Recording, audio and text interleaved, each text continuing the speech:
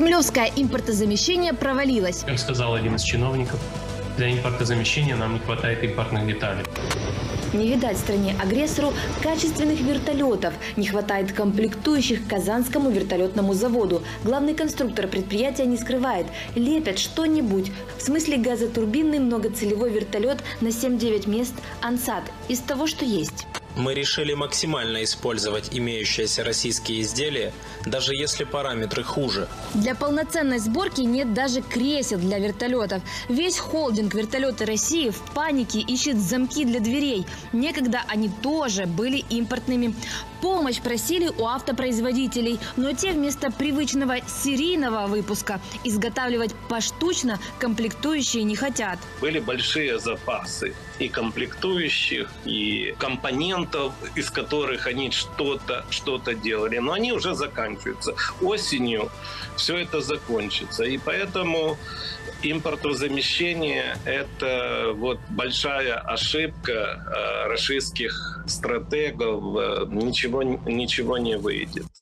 Проблемы и на Урал-вагонзаводе в Нижнем Тагиле. Предприятие сократило выпуск вагонов. Нет кассетных подшипников, которые делали иностранные предприятия в России. Если вы отрезали себя от источников передовых технологий, капитала, а, идей, то вы ничего не можете импортозаместить. Главный профиль Уралвагонзавода – это танки и гаубицы.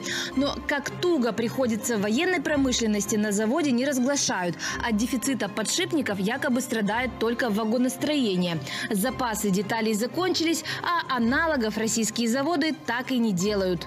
Может производить, например, устаревшие модели танков но даже разместить на ней электронику будет проблематично, потому что все-таки и Франция, и другие страны прекратили поставки высокотехнологичной продукции, которые могут быть использованы в военной сфере. Курс на замену всего тлетворного с Запада Путин объявил еще 8 лет назад с первыми санкциями. В пропагандистских эфирах импортозамещение преподносилось как путь к экономическому процветанию России. Мы точно совершенно все можем сделать сами. Но и сам Путин и вся его свита так увлечены разворовыванием бюджета, бюджета, что не выполняют даже собственных программ. Да и заменить импорт легко и успешно могут только путинисты на словах. На бумаге оно действительно просто. Казалось бы, может производить машины, станки, оборудование. Но на самом деле это не так. Россия отстала технологически по оценкам ну, самым консервативным от э, уровня современного машиностроения. Я уже не говорю про электронику, приблизительно на 25 лет. В итоге курс на импортозамещение в России провалился из-за критической зависимости от импорта подавляющего большинства отраслей российского производства. Ведь несмотря на все громкие заявления, до 24 февраля импорт обеспечивал 30-70% добавленной стоимости или выпуска продукции в самых главных сферах промышленности. Сейчас все настолько плохо, что россияне ушли в серые схемы приехал в Европу как типа турист, э, идет и э, начинает покупать чипы, программы, микросхемы, электронику, которая под санкциями. И разными путями, в том числе через дружественные, так в кавычках им страны или нейтральные, Турцию, Грузию, пытаются это переправить э, в Россию. Но и это не спасает. По опросу российского Центробанка среди фармкомпаний 40% фармацевтов не нашли замену импортному сырью и оборудованию. И только 10 производителей подтвердили, что не зависят от импорта. Все автомобилестроение, оно стоит, да, то есть они же вот э, собирали автомобили, так, но даже свою «Ладу» и свои э, грузовые автомобили, там ЗИЛы, они тоже не смогут, смогут производить. То есть ну, вместо, допустим, тысячи штук будут на коленях собирать 10-15.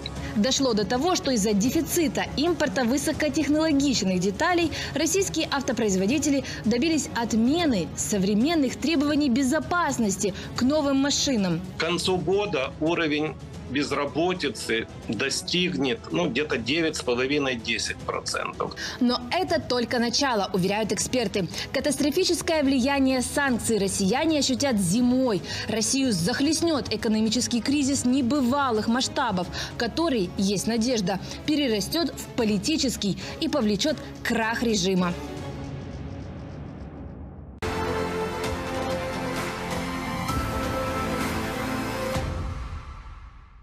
Ну и подытожим, 80% а, производств в России не могут найти замену импорту, это последние данные. И Китай сократил импорт в Россию на 50%. Это все последствия войны. Обсудим это с Олегом Пензиным, исполнительный директор экономического дискуссионного клуба. Олег, здравствуйте. Здравствуйте. А, как вам вот такие оценки а, в плане импортозамещения? 80% предприятий не могут найти замену, Китай не помогает. Насколько это плохо для экономики России? Не, ну естественно, мы же понимаем, что глобализация э, российской экономики, она достаточно высока, то есть э, степень интегрирования процессов, происходящих в российской экономике, процессов, происходящих в российской промышленности, он очень сильно зависит от поставок э, импортных комплектующих. Уже на сегодняшний момент мы с вами имеем прецеденты, когда э, активно, э, скажем, на предприятиях, в частности, логистических, авиационных предприятиях, процветает э, каннибализм, э, скажем, по запчастям. То есть разбирается один самолет для того, чтобы смогло взлететь два самолета. То есть э, этот процесс, он будет, естественно, нарастать.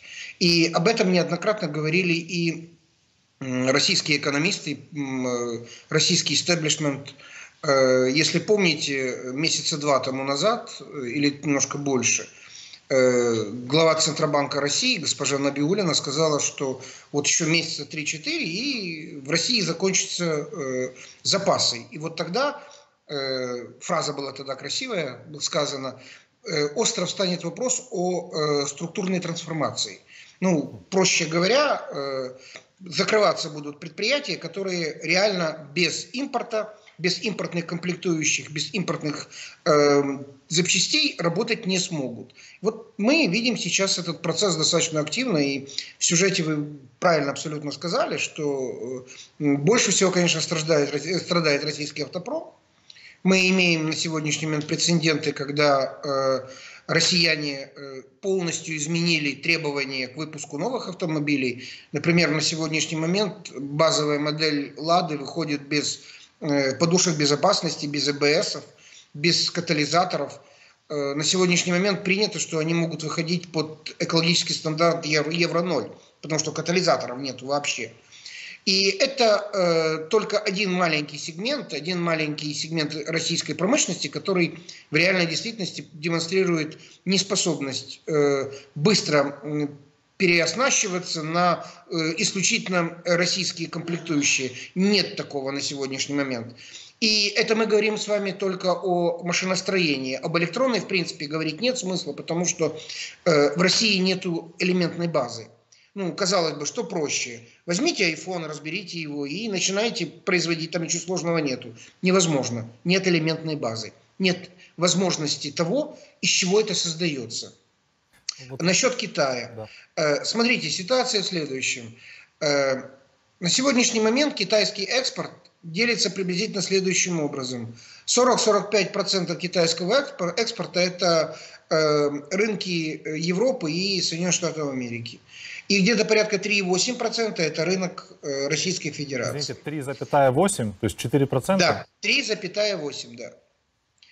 Э, поэтому э, все то, что на сегодняшний момент в Китае производится, защищенное лицензиями и патентами европейских стран и Соединенных Штатов Америки, в Россию поставляться не будет.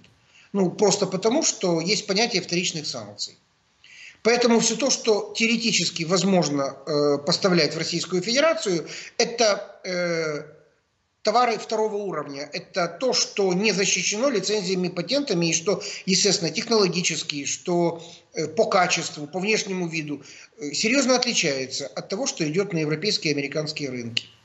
Поэтому в этой ситуации мы с вами имеем э, ну, э, большую проблему для российского рынка, в частности, перекрывать, э, э, скажем, сегмент товаров длительного пользования.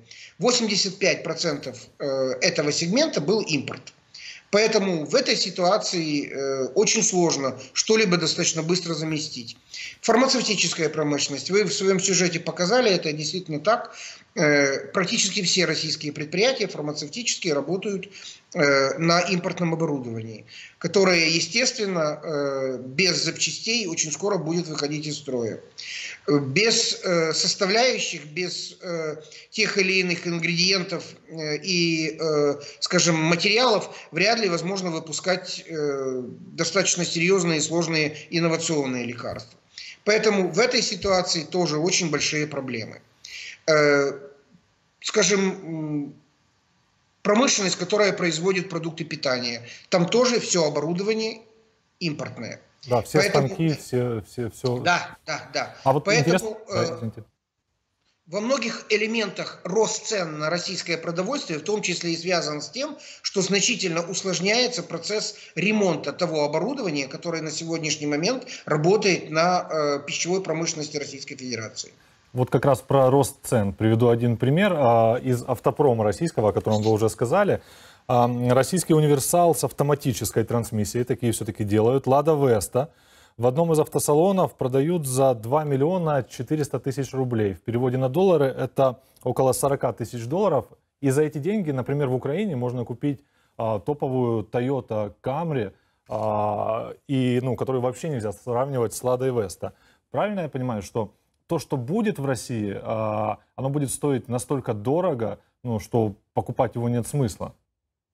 Ну, смотрите, вообще как бы ситуация достаточно парадоксальная. Э, Россия продолжает активно продавать энергоносители, в том числе и на европейский рынок. И вряд ли Европа в ближайший год сможет э, достаточно существенно отказаться от российского газа.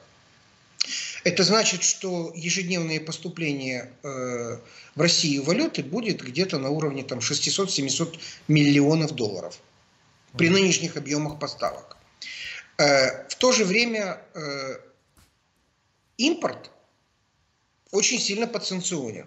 И все то, что в реальной действительности нужно российской экономике на сегодняшний момент, невозможно поставлять, или оно поставляется через третьи страны, которые намного дороже – мы же должны понимать, да, что если, например, тот или иной товар идет через э, нескольких посредников э, в странах, которые формально поддерживают с Российской Федерацией активные торгово-экономические отношения, ну, извините, та же Турция, что далеко бегать, э, естественно, э, любой посредник не будет работать бесплатно. Поэтому это существенно удорожает и логистические пути, и срок доставки, и цену.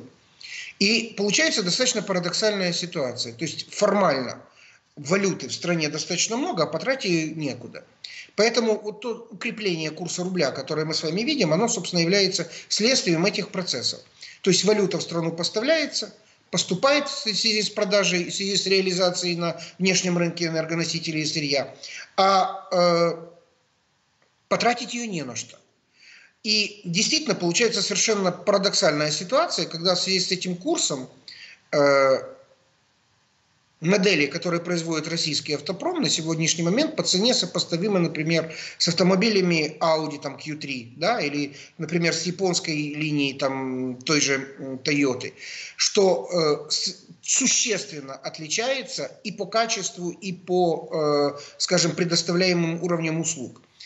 Ну, тем не менее, э, вот подобная ситуация, более того, уход крупных э, экспортеров, уход крупных брендов с российского рынка привел к тому, что э, на уже проданные автомобили невозможно поддерживать гарантийные обязательства, потому что э, ушли предприятия, которые являлись, являлись официальными представителями этих компаний, и, э, естественно, вопросы с гарантийным обслуживанием автоматически зависли. Поэтому даже новые модели, которые были проданы до начала активной фазы боевых действий, э, они на сегодняшний момент не могут обслуживаться в гарантийном обслуживании, что также ну, существенно меняет особенности работы российского рынка. И все это, естественно, является следствием санкций. Вот, Олег, мы все критикуем и критикуем. Давайте, может, попробуем закончить, попробуем закончить на а, позитивной ноте. Вот неужели в плане импортозамещения ничего в России не получилось, совсем ничего? Или, может быть, все-таки получилось сделать? Вы знаете, есть очень красивая фраза одного высокопоставленного российского чиновника, который сказал так, что мы начали импортозамещение, но как только закончились э, импортные комплектующие, импортозамещение прекратилось. Э, Ну вот э, с этой точки зрения, когда мы говорим об оптимистических вещах, ну, нужно понимать, что быстро вы все технологические цепочки восстановить не сможете. Поэтому, э, к сожалению, вот с точки зрения оптимизма в импортозамещении на сегодняшний момент в российских реалиях достаточно мало. Вряд ли очень быстро будут восстановлены э, и теоретически могут ли быть восстановлены э, вещи, которые ну, являются высокотехнологичными. Ну вот представьте себе, да, когда американцы на сегодняшний момент выделяют более 50 миллиардов долларов – государственной программы для восстановления производства на территории Российской, на территории Соединенных Штатов Америки э, микрочипов и микросхем, которые до сегодняшнего момента активно поставлялись в Юго-Восточной Азии и Тайване. Это американцы вкладывают сейчас такую сумму для того, чтобы восстановить у себя микрочипы. То, что сегодня они не производят. Видите, ну как бы э, опыт проблем, которые возникли у российской экономики, на сегодняшний момент активно изучаются во всех странах мира. И на сегодняшний момент ну, как бы крупные экономики стараются э, обезопасить себя э, от каких-то вот подобных потрясений, связанных с высокотехнологичными уникальными вещами. Ну да, то есть... Э, э, да, э, поэтому, извините, э, Прошу американцы могут себе это позволить. Да. Вряд ли это смогут быстро воссоздать русские. Да. И в то время как э, Соединенные Штаты, как вы сказали, э, вкладывают 50 миллиардов в разработку микрочипов, Россия вкладывает по 500 миллионов долларов каждый день в войну в Украине. Вот на что идут их деньги. Спасибо, Олег. Олег Пензин, экономический эксперт, был с нами на связи.